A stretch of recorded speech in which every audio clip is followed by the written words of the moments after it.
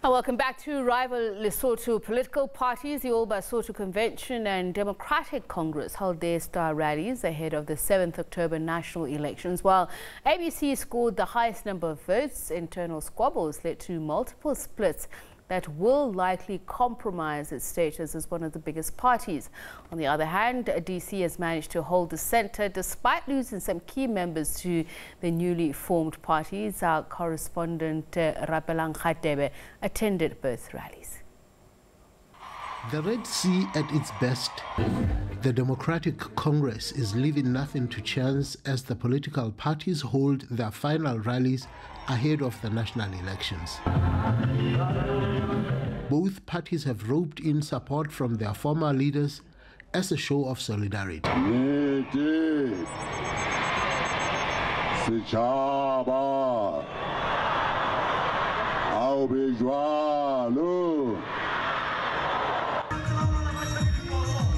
But for ABC, the picture would be incomplete without the unwavering support from the men in blankets. The leader of this Famo music group, known as Tereni, popularly known as Lehlanya, appeared on the South African police's wanted list. He is wanted in connection to the recent Soweto tavern killings, but he is distancing himself from it. All these allegations can be traced to some political party leaders right here in Lesotho with an intention to taint our party, but their plan never materialized. We have never been on the run from anyone, and we are saying to you, Ndate after these elections, this matter should still be pursued.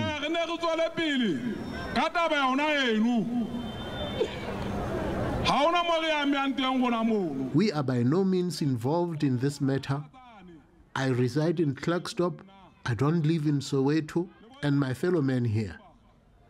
Now tell me, someone of my age in the 50s can never be associated with such filthy stuff. We cannot be linked to such. We are way above that. We are of sound mind and impeccable.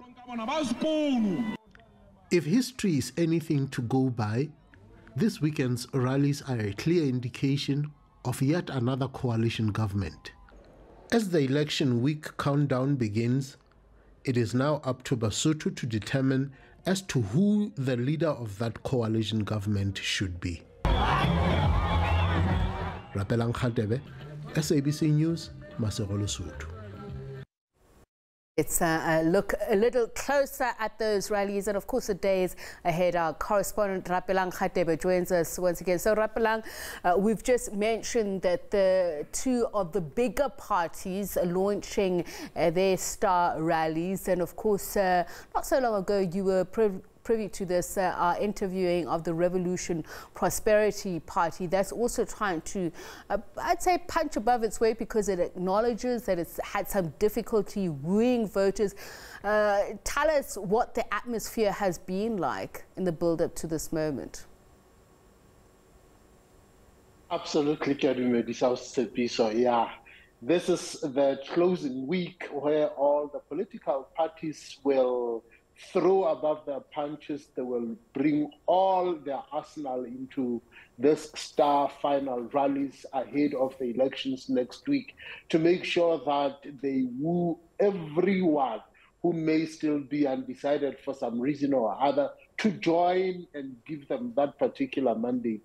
But as you know, Maseru as a buzz, everybody on the regalia, everybody showing what they can likely do when they become government uh, to ensure that every vote, every vote really counts in this matter. We have seen the crowds, we have seen the traffic come to a jam, a standstill, uh, and the three biggest parties really coming out to, to play to woo their voters. Mm, uh, 50 political parties, they're vying uh, for seats in this election uh, surely that splits the cake very thin.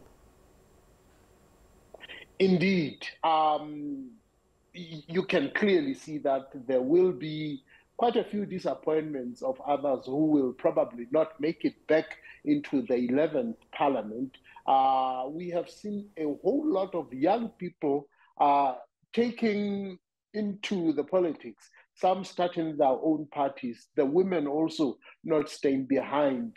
Uh, very energetic, very emphatic. But the truth is really, uh, the 11th party will probably, the 11th parliament will probably be something of its own making where we will see uh, a conflict of ideas um, thrown, uh, a new energy. I, I, think it's going to be a, a spectacular to behold mm. this 11th parliament. Uh, let's look a little closer at the spectacle. The RFP, for instance, saying that it is willing to go into coalitions it was very clear that, for instance, it would not go into coalition with the ABC and some of the bigger parties that it accuses of corruption. So is this likely to actually be a coalition of partners in government? As we mentioned that um, there are so many political parties uh, that are contesting these elections. You mentioned in that excerpt, in that report, uh, that some of them losing key partners already. Key members, Indeed, rather. absolutely. Mm -hmm. Absolutely, you're absolutely right. Because uh, the formation of the RFP has clearly eaten into the pie. If you look at the rallies this weekend, the ABC, uh, really former shadow of itself if you compare to the previous rallies. You can clearly see one of the members are complaining that they were sabotaged because they could not get the buses to ferry their supporters, but clearly you could see the gaps. DC has been relatively steady, the Congress Party, but you could also see that it is no longer that very tight sea of red as before. So you can clearly tell because when you look at uh, the numbers at the RFP, you could clearly see that there has been a shift. So these three political parties, and we cannot discount the likes of BAP, which is a splinter of ABC, the likes of MEC, which is a splinter of the LCD.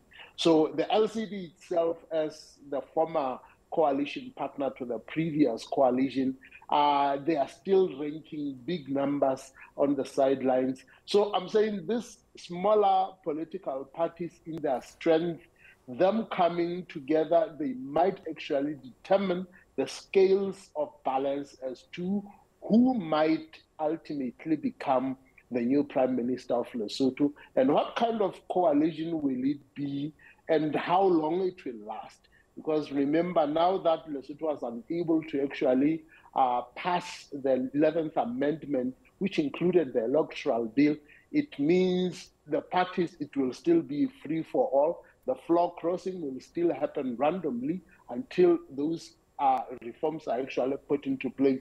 So it says it's going to be a serious juggle for power as to who will ultimately hold the coalition together and whether the six months will be not a determining factor as to whether it stays or it loses its power. I was actually going to go to the issue of floor crossing, of which you and I have spoken about, particularly when it comes to the reforms that it's been discouraged. And uh, as we've just seen recently in Kenya, uh, where political parties now then feel that it's time to join the victor after you know all is said and done. What is the likelihood here? Are the manifestos that the various parties have launched enough to keep people uh, staying with them, casting their vote for them, and staying with them? Yeah, unfortunately, we cannot discount the fact that a lot of people still go and see politics, see government as the source of income, as the source of employment. So sometimes you may want to be joining a particular party, but if you look at the odds or who, of who will become the employer, who will become the controller of power, people are likely to switch allegiances. And without those uh, political rules, uh, the floor crossing is still an open people can just decide to club and gang against one particular power simply for the interest of their own personal interest. to some extent, not even minding the constituencies that they represent.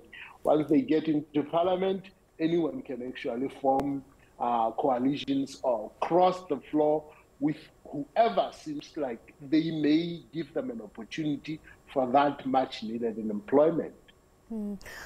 The ABC's affiliation to the traditional music faction, how is this relationship affecting their brand as a party? It, it has been a bone of contention. Uh, it has been a cause for discussion in many quarters. Uh, some of the founding members of the ABC really seen that relationship as a worrisome one because uh, giving them space whereby they actually get to address the rallies. Um, the question is whether, when there are things that are going wrong, can the leadership be able to reprimand them or to call them to order? Because the recent leader, Kabi, has actually declared that looking at the numbers that they bring, more than 50,000 strong of support that they bring. And he said, How do you ignore such numbers? Why don't you find a way to work with them? After all, these are Basotho who are willing to join politics, uh, perhaps to give a mandate to whoever they feel comfortable with that they can represent their needs.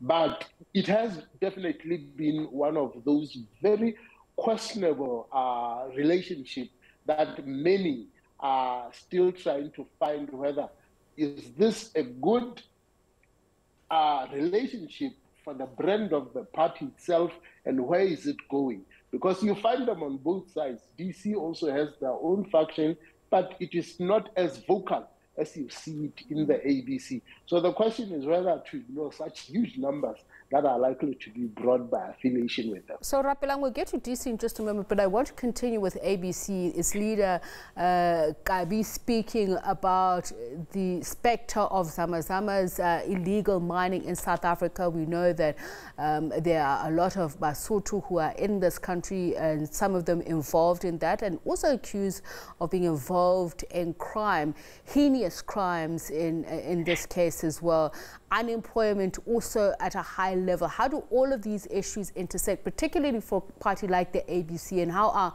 Basotho reacting to it? How are they interacting with the issue? Well, one cannot really ignore the fact that it has really tainted, I think, the relationship between the two governments, Basotho themselves being associate, associated and uh, really not in their kind of mannerism to be involved in such heinous crimes. And th- this has definitely caused a question as to whether uh, this behavior cannot be associated with Basotho as a whole or a certain group. But Kabi, I think, having spoken in various forums, he simply uh, reducing it to lack of economic activity or opportunities that Lesotho is unable to supply to them a long lasting relationship where Basotho have been very dominant in the mining sector. A lot of those who have now been left unemployed and have taken an alternative measure because of their understanding and their experience in the mining sector, now seeing that it looks like there is an open market for illegal mining, uh, and Basotho, some of those Basotho have taken advantage uh, into that. But really, I think the two governments really needs to sit down and sort this out uh, because it is going to the extent whereby it will probably taint the relationship between the two countries as All right. And uh, Rapeleng, the Democratic Congress, you spoke about them earlier on. Uh, their leadership transition is one that you uh, say has been a smooth one. Why is that? What do you attribute that to? Absolutely. I think uh, the Democratic Congress, from its origins, has been a relatively steady.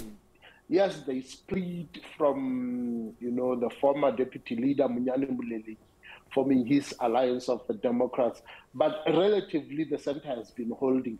the DC. We have seen the transition from the former Prime Minister, Pakalitha Mosisili, handing over to Mathibeli Mokhothu, uh, who some were rather doubtful, but I think it was about time that a younger leader takes over and he has been embraced by his predecessor, Pakalitha, who was at the rally and continues to show a strong support to him. I think that is what has made the center to hold. They have been a much more steady party, and we can see, we would like to see whether they have lost some of the members to the RFP. Powerful guy, uh, who, who has been very influential in the leadership position.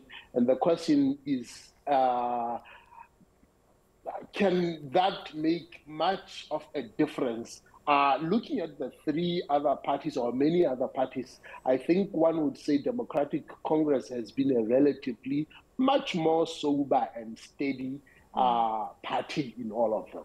But will any of them be able to translate that into votes that will lead them to the 50 plus one uh, across the mark? Will they be able to get a popular mandate? That's a million dollar question. I think everybody is praying for a miracle to get a 50 plus one, at least to get the mandate to rule alone. One is trying to, to, to question as to whether how the Matekane, a new, let me call him a new kid on the block, can handle if he does not make that 50 plus one mark. What about the steadier, strong parties like Congress Party? Uh, can they really afford not to be in the leadership? They have maintained a very weak coalition, one would say, with the ABC, and everybody is praying for a possibility of that 50 plus one mark. But looking at history, one would say almost impossible. And does that demographic weight, Rapeleng, lie with the youth, looking at the numbers in terms of um, who over the next couple of days these political parties will have to really work hard at getting into the box? A, brilliant one, I think, that you threw. The youth will probably be the decider as to who holds the power, who holds the weight into likely being in a position to form government. I was looking at how the RFP was presenting itself to the younger market. I mean, they went about town with an air show calling some of the South African musicians uh, the younger, trying to make sure that the youth feel very comfortable. And the question is whether have they done enough in a very short space of time to make sure that those uh, young people have actually registered with IEC and can they actually find a way to push them that on the election day they don't find excuses uh, because it's a public holiday and end up not voting that remains another one to be seen. But if you look at ABC also, it has been selling its manifesto mostly to pushing the young people into its party. And they are the ones, we have seen a big uptake of young people registering for this year's election. I think the numbers were in around 100,000 elections. That is significant considering the population of Lesotho. Rapeleng, let's leave it there. No doubt your work is cut out for you. Rapeleng Kgatebe, my colleague uh, who uh, is watching those elections in this sort of course, election observers have uh, already arrived, particularly long-term observers, short-term observers uh, um, should have arrived by now as uh, on the 7th of October they go to the polls, the Mountain Kingdom of Lesotho. Uh, more than 50 parties contesting those elections.